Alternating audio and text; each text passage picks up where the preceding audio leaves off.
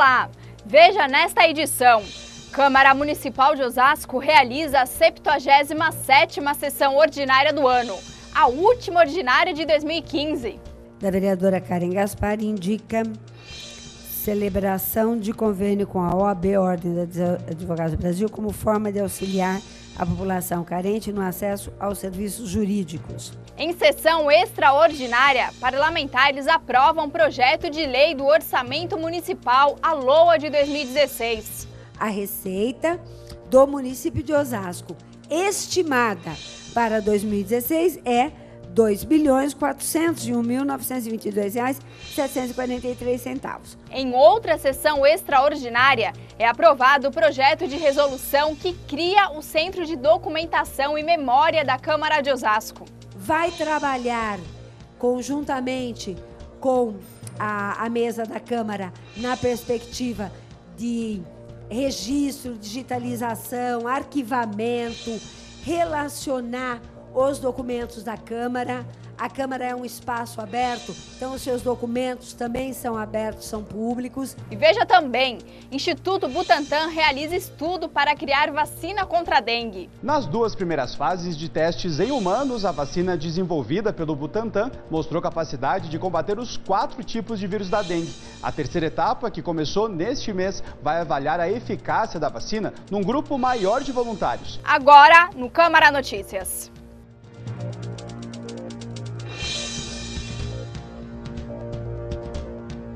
Na tarde da última terça-feira, a Câmara Municipal de Osasco realizou a 77ª sessão ordinária do ano, a última ordinária de 2015. Sob a presidência da vereadora Karen Gaspar, foram lidos requerimentos, projetos e também indicações. Mas devido à falta de quórum do número suficiente de vereadores presentes, Desta vez, não pôde ser realizada a votação das moções e a presidente declarou encerrado o expediente. Corrigindo cinco é, vereadores presentes, mesmo assim, não, não havendo número regimental, declara encerrada a presente sessão e logo após a sessão ordinária, os vereadores se reuniram em sessão extraordinária para discutir e votar o projeto de lei 87 de 2015, que se refere à LOA, Lei Orçamentária Anual para o exercício de 2016. Para quem não conhece, o projeto da LOA é um resumo das receitas estimadas pela Prefeitura e também das despesas fixadas para os serviços públicos do próximo ano. A LOA é elaborada com base na LDO, a Lei das Diretrizes Orçamentárias, aprovada pelos vereadores em sessão extraordinária no mês de junho. O orçamento municipal estimado para 2016 é de 2 bilhões e 400 milhões de reais, um pouco menor do que os valores dos anos anteriores em termos de crescimento. Porém, este orçamento ainda é 3% maior do que o de 2015 no valor final. Na tribuna, a vereadora Mazefa Varão explica que o orçamento do município pode ser impactado, sim, pela situação da economia internacional. A economia de Osasco, em que seja uma economia crescente, em que seja uma cidade que, apesar de todas as dificuldades, tem crescido muito, tem apresentado muitas melhorias, pode ser impactada com a situação econômica internacional. Daí o termo estimar, que é prever, mas é passível de mudanças na sua concretização. Mas, independente da situação econômica, 17% do total do orçamento deve ser destinado à saúde e 25% à educação. A única, a única, as duas únicas exigências de que nós, que nós temos são os 25% para a educação e o mínimo de 17% para a saúde. Tá? Os 25% da educação estão assegurados, e aí entram os salários dos professores, aí entram os salários dos funcionários. De acordo com o projeto, assim ficou distribuído o orçamento de 2016 para algumas pastas. 550 milhões de reais vai para a Secretaria de Saúde, 550 milhões vai para a Secretaria de Educação, Já a Secretaria de Serviços e Obras vai receber 311 milhões de reais. A Secretaria de Habitação, 94 milhões. A Secretaria de Esportes e Recreação será destinado 33 milhões de reais. A Secretaria de Cultura, 9 milhões. E o valor de 57 milhões de reais será repassado à Câmara Municipal. Entretanto, estes valores não foram ainda atualizados, não são os valores definitivos. Durante a votação da LOA, os vereadores da casa sugeriram alterações na distribuição do valor total do orçamento entre as secretarias. Os parlamentares apresentaram 42 emendas referentes ao projeto. E entre estas 42, apenas 34 emendas foram aprovadas. Eu solicito apenas a votação para o arquivamento das emendas número 1, 2, 3, 5, 6, 9, 15 e 38, respectivamente dos vereadores Andréa Capriotti, Alex, Aloysio, Dinei, Mário Luiz Guide, Rogério Lins, Cláudio da Locadora.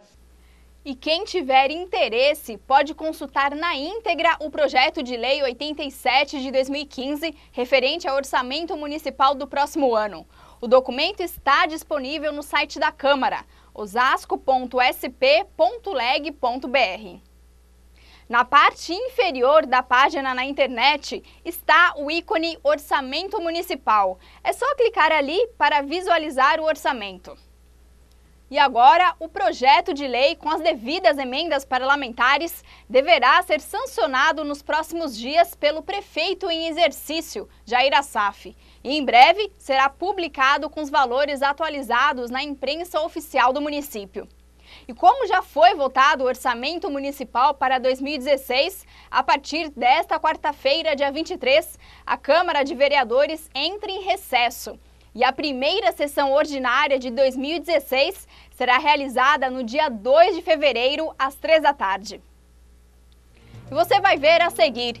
Em sessão extraordinária, vereadores aprovam um projeto de resolução que cria o Centro de Documentação e Memória da Câmara de Osasco. Vai trabalhar conjuntamente com a, a mesa da Câmara na perspectiva de registro, digitalização, arquivamento, relacionar os documentos da Câmara.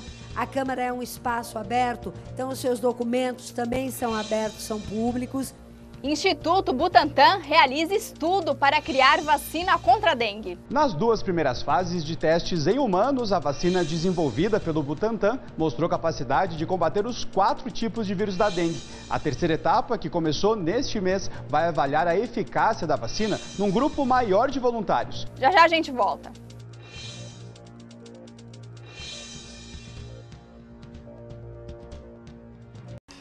Então minha mãe ficou muito abalada, muito triste mesmo, porque a caçula engravida cedo. Decidida a ter uma gravidez saudável, Valdirene conheceu a Casa Ângela. No primeiro dia já comecei a fazer o pré-natal. No Brasil, morrem por dia 108 crianças menores de um ano e 4 mulheres morrem por dia em decorrência da gravidez. Pré-natal é vida e um direito de toda gestante. Se você está grávida, inicie o pré-natal e não se esqueça que o aleitamento materno é fundamental para a saúde de seu filho.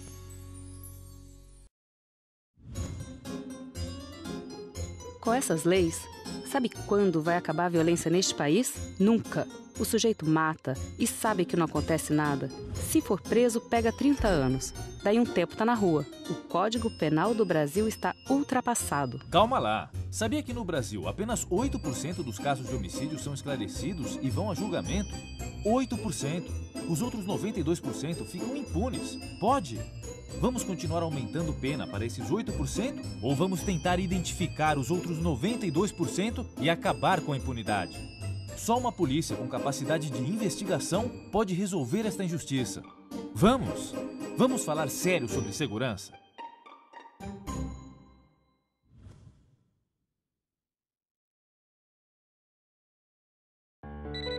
Uma ligação pode ser uma notícia ruim ou uma boa. Pode ser um amigo, alguém da família ou até engano. Mas tem uma ligação que pode ser o começo de uma grande virada. Serviço 132.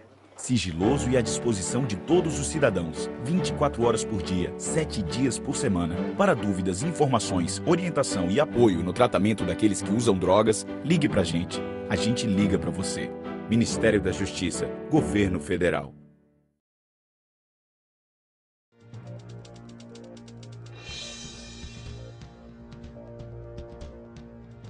Na tarde da última segunda-feira, a Câmara Municipal de Osasco realizou uma sessão extraordinária. Os vereadores discutiram e votaram cinco projetos, que inclusive foram todos aprovados. Entre eles, três são de autoria da Prefeitura. O projeto de Lei 96 de 2015, que institui lei geral para conceder subvenção e auxílio às associações de pais e mestres, APM, das unidades educacionais da Rede Municipal de Ensino de Osasco. O documento revoga a Lei 4132 de 2007. De acordo com o um novo projeto, nenhum repasse poderá ser autorizado sem que a PM tenha prestado contas dos valores anteriormente recebidos. Todo o processo de acompanhamento, análise e de emissão dos pareceres prévios às prestações de contas será de responsabilidade da Secretaria de Educação. Na tribuna, o vereador Aloysio Pinheiro dá mais detalhes. Porque se a gente observar, na Lei 4.132, no vereador Mário Luiz, é, dava a impressão que você podia utilizar essa subvenção da APM para tudo, inclusive para obras. Não é para isso. É, são para questões definidas, inclusive nós temos o Conselho de Gestão compartilhado, que são para reparos, são questões de pequena monta, na verdade. Também de autoria da Prefeitura, foi aprovado o projeto de lei 95 de 2015, que autoriza a concessão anual a essa subvenção e auxílio às associações de pais e mestres para o exercício de 2016, nos termos da lei geral citada. Quer dizer, a lei geral vai estabelecer as normas e procedimentos para o repasse, para a concessão dessas subvenções anuais. Então, portanto, criamos a lei geral e depois as leis anuais. A vereadora Mazefa Varão cita o valor total a ser concedido à APM em 2016 e também as condições que norteiam a distribuição deste valor. Neste caso, para o ano de 2016, nós vamos ter 5.718.070 reais e 60 é, 5.718.060 reais a serem é, distribuídas às APMs de acordo com o número de alunos e a finalidade de cada uma das unidades. E o outro é o projeto de lei complementar 17 de 2015, que dispõe sobre alteração e revisão de referência de cargos públicos efetivos, funções e empregos públicos. Quem comenta sobre o assunto é o líder do governo na Câmara que, que o governo está solicitando? Que a gente faça a ampliação das vagas e não do cargo, não da criação do cargo. Aloysio ressalta ainda uma emenda de sua própria autoria referente ao projeto de lei complementar. A emenda de número 2 diz o seguinte: no artigo 1 altera o artigo 1. Fica alterado passando a viger com a nova redação. Fica ampliadas as quantidades de vagas dos cargos públicos de provimento efetivo funções e empregos públicos, criados pela Lei Complementar número 6, que tem lá quase a sua maioria, é, e depois as alterações. E por fim, os vereadores aprovaram um projeto de resolução número 6 de 2015 que cria o Centro de Documentação e Memória da Câmara Municipal de Osasco. O projeto é de autoria da mesa diretora da casa. A Comissão Municipal da Verdade aprovou orientações, aprovou ações que deveriam devem acontecer ainda na perspectiva de materializar aquela pesquisa. E uma das ações foi a criação do, do Centro de Documentação e Memória da Câmara Municipal de Osasco. De acordo com a vereadora, o projeto não implicará despesas adicionais. Esse centro, que contou, conta com o aval do conjunto da mesa, não implicará nenhuma despesa a mais para a Câmara, porque serão deslocados para lá funcionários já existentes, vai trabalhar conjuntamente com a, a mesa da Câmara na perspectiva de registro, digitalização, arquivamento. E o Instituto Butantan, em São Paulo, está na fase final de estudos sobre vacinas contra a dengue. A pesquisa começou por meio de uma parceria entre o Butantan e Institutos Nacionais de Saúde dos Estados Unidos em 2008. São três fases. A primeira, para verificar a segurança da vacina, ocorreu nos Estados Unidos. A segunda etapa começou em 2013, com cerca de 300 voluntários do estado de São Paulo, para verificar se a vacina estimulava o corpo a produzir anticorpos contra a doença.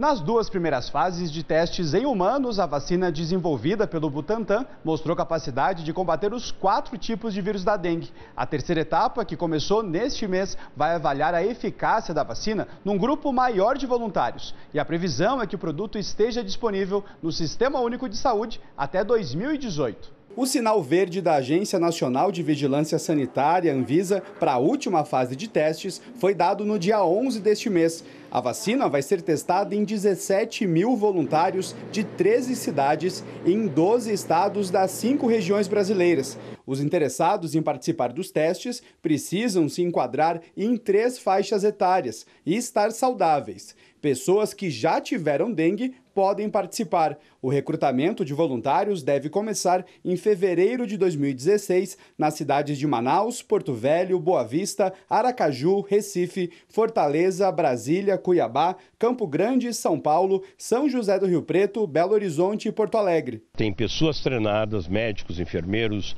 monitores de pesquisa e eles vão fazer exame clínico desses indivíduos, dos dos possíveis voluntários, vão vacinar e depois nós vamos acompanhar quase que diariamente, a cada três dias ou cada seis dias, dependendo do, momento, para ver se esses indivíduos pegaram ou não pegaram o dengue. Nós nunca desenvolvemos uma vacina desse tipo ou um medicamento desse tipo.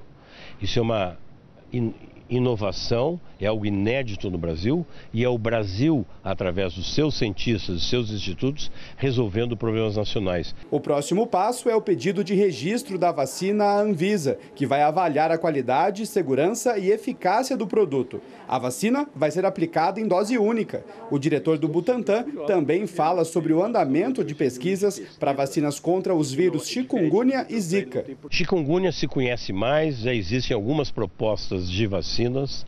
Nós estamos vendo até que ponto que nós vamos nos associar com esses grupos uh, para que a gente desenvolva também clinicamente e industrialmente.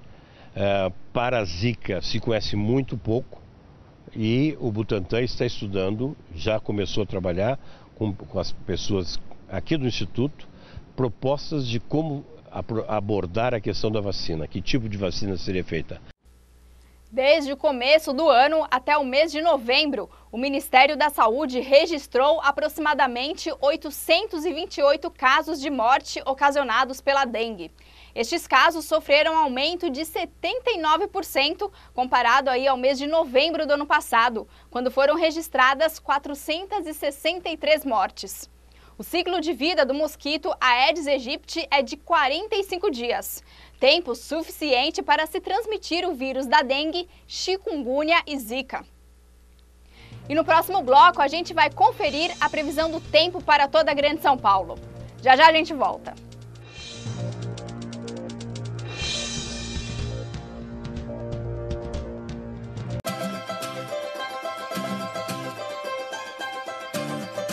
Minha brincadeira favorita é brincar de pique-pega e apostar corrida.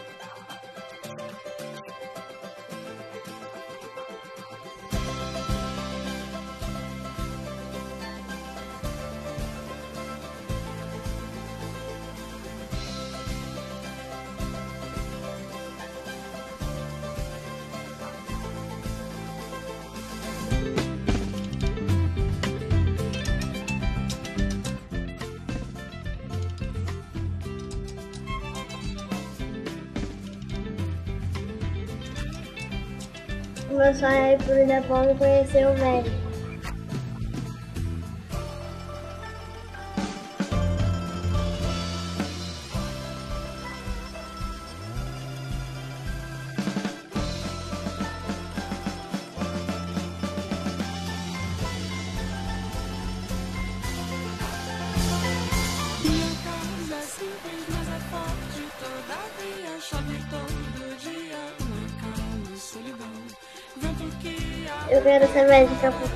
Médica ajuda as pessoas que estão passando mal e porque bombeiro apaga fogo.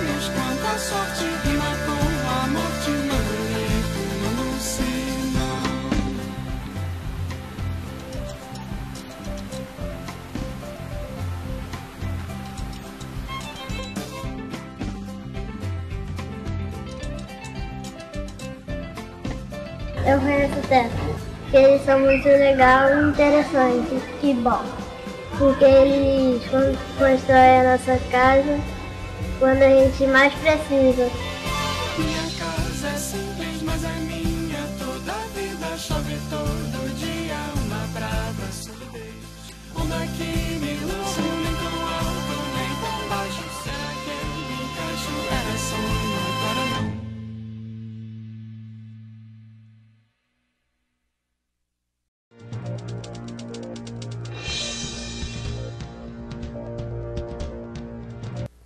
E agora vamos saber como é que fica o tempo em toda a Grande São Paulo, com informações direto da Climatempo. A umidade vai diminuir em todo o estado de São Paulo nesta quarta-feira. E o ar seco predomina na região de São José do Rio Preto, que já não terá mais chuva. Na região metropolitana faz muito sol, a temperatura fica elevada, mas a partir da tarde há possibilidade de algumas pancadas rápidas e isoladas de chuva. A mínima prevista para a capital é de 21 graus e máxima de 33. Em Guarulhos, mínima de 20 e máxima de 34 graus. Bom, e por hoje é só. O Câmara Notícias fica por aqui e nos vemos na próxima edição, hein? Até lá!